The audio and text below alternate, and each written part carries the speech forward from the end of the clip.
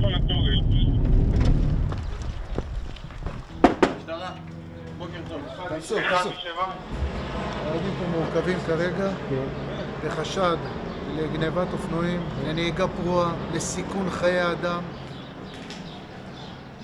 היום אה, במהלך אה, שעות הבוקר המוקדמות, כוחות של אה, מחוז דרום, כוחות של אה, כוחות יחידות ארציות, נכנסו אה, לשטח שמונה אתרים. אנחנו מסכמים את הפעילות היום עם אה, 11 עצורים, 11 אופנועים, מרביתם אופנועי שטח, שבצורה כזו או אחרת גנובים או נמצאים עם תיעוד מזויף.